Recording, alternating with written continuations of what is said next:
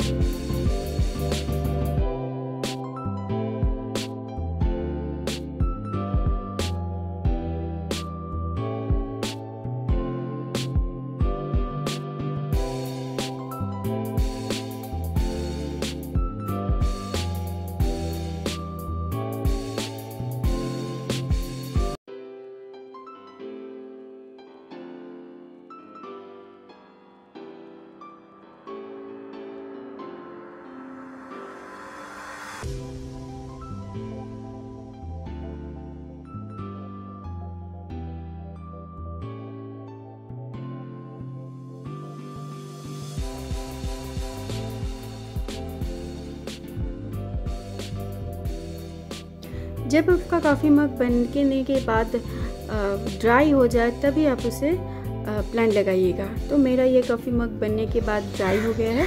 अब मैं इस पर प्लांट लगाने वाली हूँ। पहले मैं कुछ स्टोन लेने वाली हूँ। एम पॉट पे स्टोन डालना बहुत ज़रूरी है, क्योंकि इस सब में कोई होल नहीं होता है।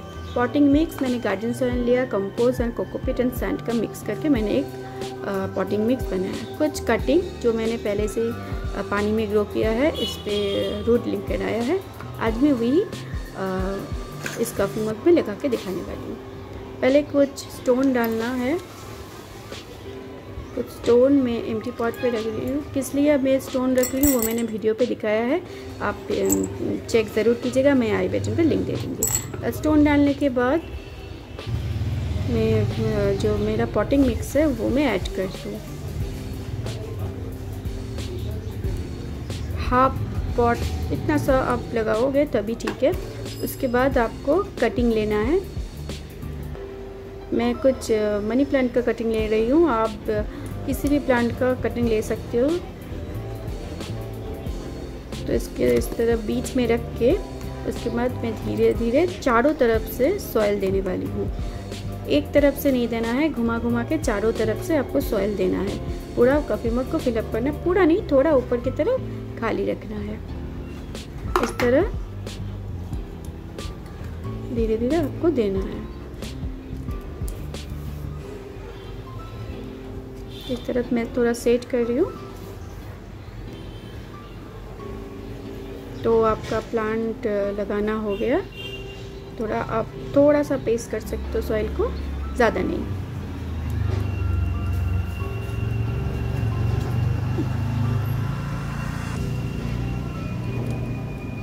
तो ऑलमोस्ट रेडी हो गया आपका प्लांट उसके बाद हम लोग इस पर थोड़ा वाटरिंग करने वाले हैं, क्योंकि प्लांट लगाने के बाद और रिपोर्टिंग करने के बाद वाटरिंग करना बहुत ज़्यादा ज़रूरी है। तो मैं थोड़ा लीव्स पे भी स्प्रे कर रही हूँ। ये नॉर्मल टैप वाटर ही है। और प्लांट को भी मैं वाटरिंग कर रही हूँ।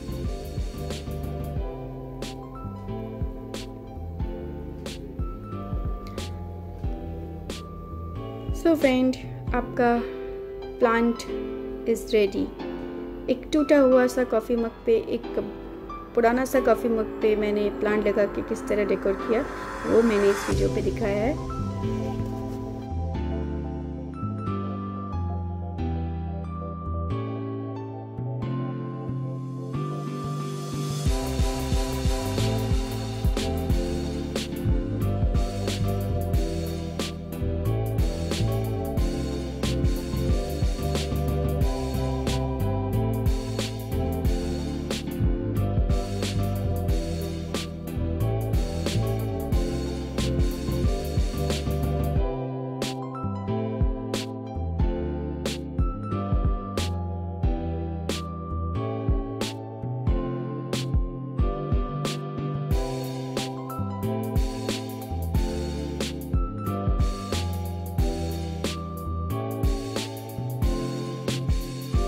फ्रेंड आपको मेरा ये वीडियो अगर आपको पसंद आया तो मेरे चैनल को लाइक और कमेंट ज़रूर कीजिएगा। अगर आप मेरे चैनल में नए हो तो मेरे चैनल को सब्सक्राइब ज़रूर कीजिएगा। फिर मिलेंगे नए किसी वीडियो में। तब तक के लिए बाय